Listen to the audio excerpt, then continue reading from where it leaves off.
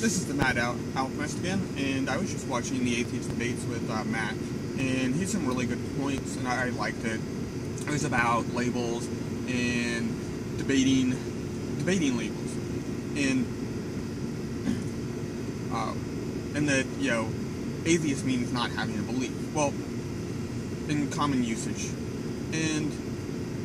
uh, I think that a lot of people avoid using this term or don't associate with the term atheist because they don't feel like defending it. That, that it's a label they don't feel emotionally connected to. And a lot of theists will use it to derail a conversation.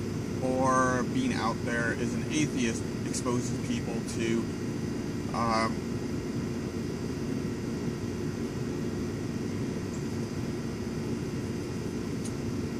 I don't want to say bigotry, but definitely some level of discrimination. And a lot. I mean, come on, you can't be a politician and be an atheist. What is there like one in the Senate?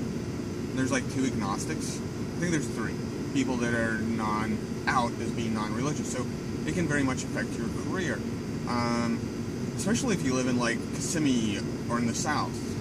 Um, you, you don't want to associate yourself with a label you don't feel personally connected to, so you don't feel like defending it. And yeah, I think I think that a lot of theists do that on purpose. Um, since they can't back up their claim, they just derail the conversation.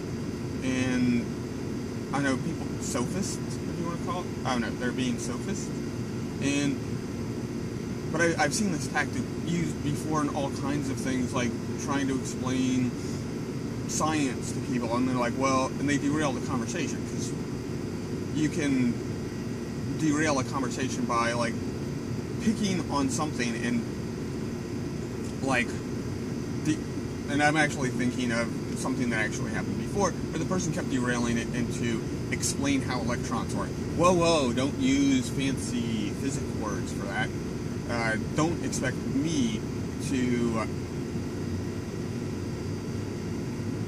become educated enough in the field that you're I'm asking a question that requires a detailed explanation, uh, but I don't want to have to have the foundation to understand the answer, and such derail the conversation.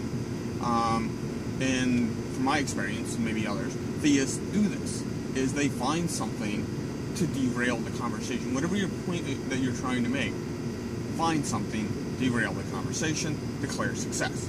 You failed to prove whatever it was that you were trying to express. Um, so, yeah, that's about it. You watch atheist debates. It's good.